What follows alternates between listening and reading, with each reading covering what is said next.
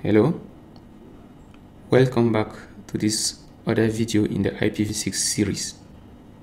Today let's look at how to configure and verify IPv6 static routing.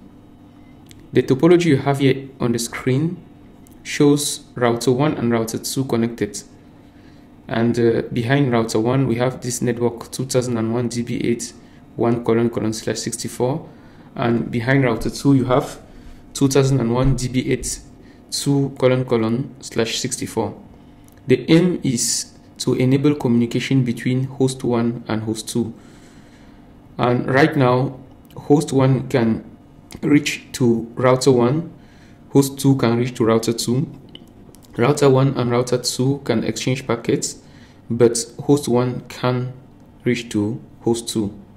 Let's go in the console and uh, do the configuration. Right now, this is the IPv6 address on host 1.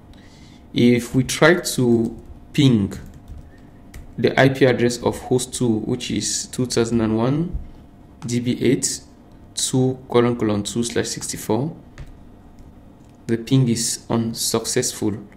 But we can ping the directly connected router that is router 1 here the ping is successful so now let's do the configuration needed for host 1 and host 2 to communicate first of all in router 1 we will create a static route if we do show IPv6 route right now we can see that there are only the connected and the local routes there is no way IPv uh, router 1 can reach to router 2 network. So we start by going into global configuration mode. Let's note that by default IPv6 uh, um, Cisco routers do not route IPv6 traffic.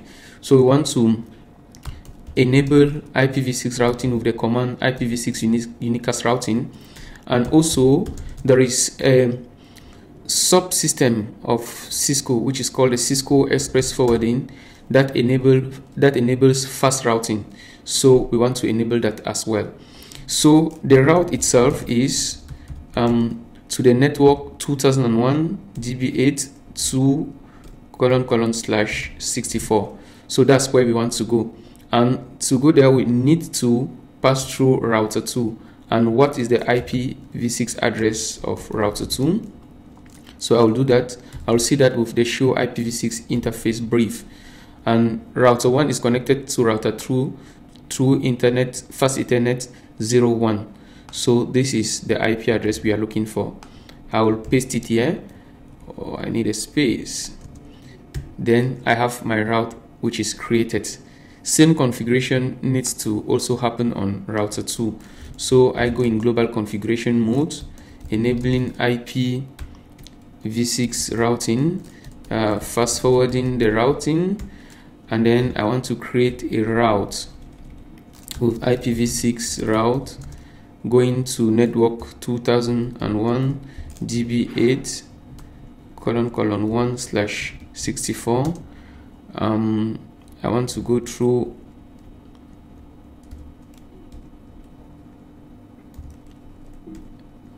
a. So that's the IP address of router 1 now if I show IPv6 route here I'll see a new entry a static route marked by the S here to the network 2001 db8 oh there is a mistake I did there so I need to correct that. Okay so this is bad. So I want to remove this and then get it back to so this is what we want so if I do show IPv6 route here we have the static route to the network behind um, router 1 if we also do here a show IPv6 route, we have this static route to the network behind router 2.